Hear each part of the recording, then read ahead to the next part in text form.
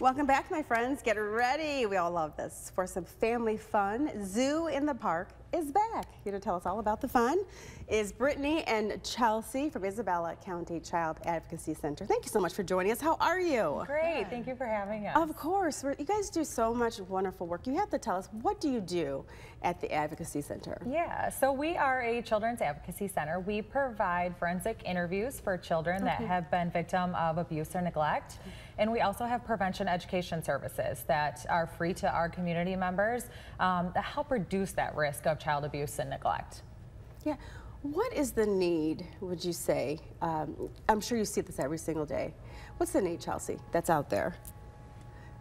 Is that um, in our area, there are a lot of kids that really need help and need resources and need to yes. just to live a, a, normal life. Yeah, resources, education, yeah. prevention, child abuse awareness, yes. prevention, education. We yes. do um, car seat safety, oh, wow. safe sleep um, programs. Yeah um, child abuse prevention programs in schools. So just that awareness um, that it, it is in our community. I love it. Okay, so that is why we need people to come out to your event. They are hosting Zoo in the Park. That sounds so much fun. It Tell is. us what is this? It's a great time. Yeah. This is an event that we hold annually to raise awareness on child abuse and neglect. Okay and to bring our community together for a fun night. Yeah. Um, it is on Friday, June 7th from 5 p.m. to 7 p.m. at Island Park in Mount Pleasant. Wow. Um, it's an evening of fun. We have unicorn pony rides and face painting and a petting zoo and crafts.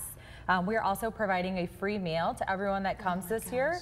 Every child that comes gets a free goodie bag. Nice. We are doing bike giveaways uh, free bike helmets for the kids that come, right. face painting, so much more. We're why, so excited. Like, why would anyone not go? Yes. it's like it's there's something for everyone, which yes. I, I love that. Yes. Why would you encourage people to come out? Because you re really need these funds and you really need the help for what you do to continue. Yes, yep. Um, really to just continue to raise awareness, so raise mm-hmm. awareness that these services are here yeah. and free to our community members and we want them to utilize them.